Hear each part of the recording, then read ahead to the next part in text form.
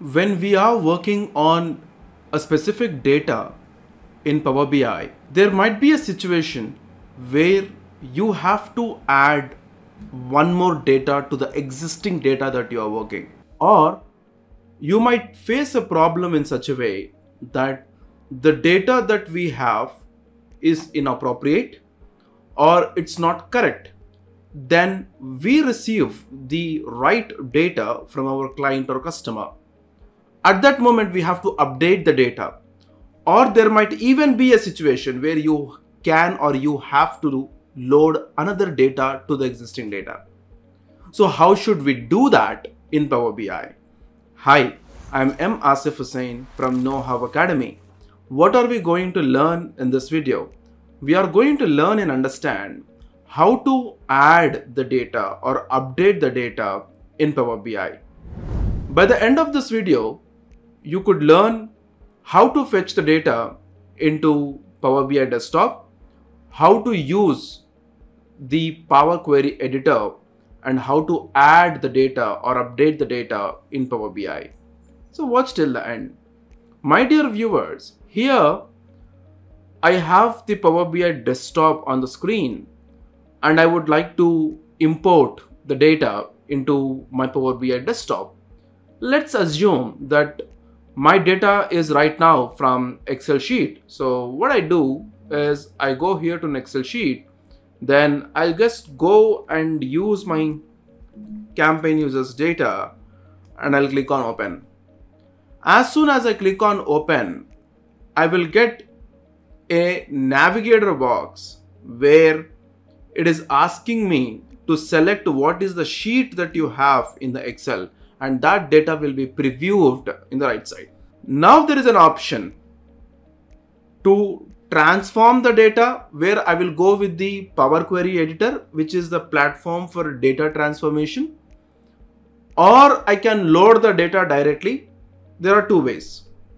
Now let me click on transform data. As soon as I click on transform data, Power Query editor is open up. So in this Power Query editor, whenever we are working on any data, the initial step is importing the data, getting the data into Power BI, then identifying and analyzing whether the data is clean, unclean, or structured, unstructured, organized, or unorganized. We have to find out all these aspects. So here let us assume we'll go with the analytical part. We can see that the column 3 and column 4 are completely null. I mean, we do not have any information there. So what we generally do, we have to remove that. So I'll right click here and I'll remove the column 3 and as well as the column 4. Now, as we can see that the first row is completely null, I will remove my first row as well. I will remove the top row and which is 1. Now as we can see that the campaign stage and number of users, these two are the column headers actually. The column headers came inside the data. So I am assigning back this as use first row as header. So now they are back. I have cleaned up my data. Alright. So now you are halfway done. Let's consider you are working on this data. Now you are halfway done. Again you will get a intimation that you have to load one more data or you have to add another data to the existing data that you have. So for this, what you have to do. Now what I'm going to do, I'll click on new source and I will select the Excel, the another data that I have it. So let's consider that I have the uh, any e-commerce shopping data. I'll click on open. So though you are not in a Power BI desktop, though you are not in a Power BI desktop, when we are working on a Power Query editor in the data transformation part, we can still add the data. So I'll click on the tables, whichever I would like to get it into my particular uh, Power Query editor. I'll click on OK. So all those tables which I have selected, okay, these will be imported to the existing data that I have. So now this is one type of uh, uh, scenario where you have to load the data or add the data to the existing data that you have. Now let me walk you over another type of uh, situation where you have to add the data to the existing table or to the existing query. So for this what I'll be doing, let me go to add column. Under add column, we have an option called custom column or conditional column. And we also have custom columns from example. Okay. So let me give the uh, custom column from examples. I'll go with the selection. Now I have got the column here. Now what I'm doing, I'm adding another column and I'm adding the data in it. Okay. So now what I'm going to do, let me write the name as, let me consider the months, January, then we'll go with February, then I'll go with March, then I'll go with April, then I'll go with May, and I'll go with June. All right. So now I have entered the data here. I'll click on OK. As we can see that I have added the data. Earlier, the data that we have received from the client, there were only two columns. Now I have added another column here. Now you can go and change the column name. Just double click it and choose it as month. That's it.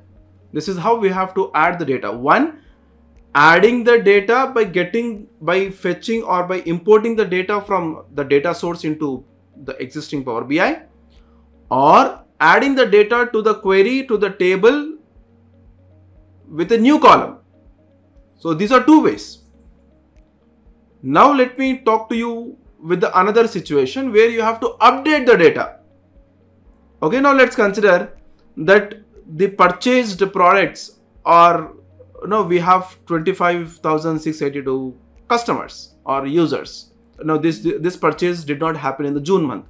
Let's consider that this purchase happened in the september month. So from the june month you have to update the information to september. So for this what we do we generally go with the replace values. So what we can do here right click and we can replace the values now, when I click on this replace values, what is the thing that I have to find June, right? I have to find out here June. And from this June, I have to update the data or update the value to September. Am I right? Earlier it was June. Now I have to update it to September. Let me click on OK. We got September here. And it is telling that I have replaced the value. So my dear viewers, here we have to consider that what kind of situation are we are, in what kind of scenario it has been asked. Depending upon that, we have to go and use the appropriate sections or whether we have to fetch the data, whether we have to update the data, whether we have to add the data to the existing table. So what kind of changes that we would like to do that we have to again consider it by the client's requirement.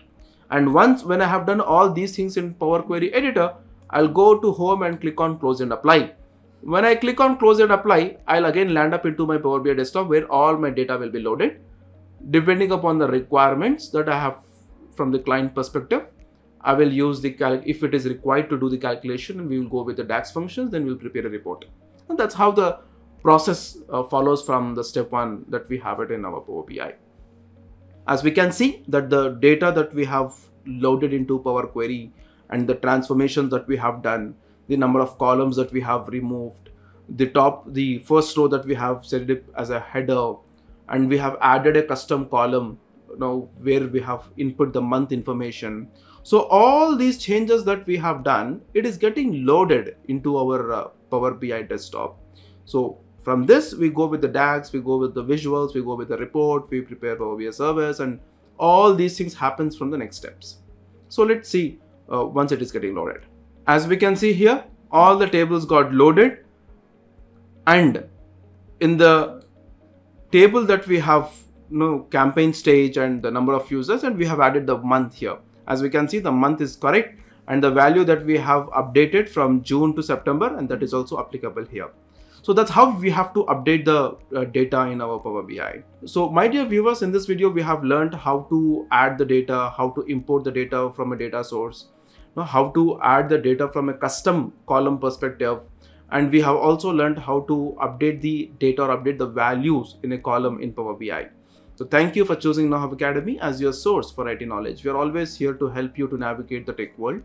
If you have any questions, do not hesitate to reach out it's been a pleasure sharing this information with you. Stay curious and keep learning.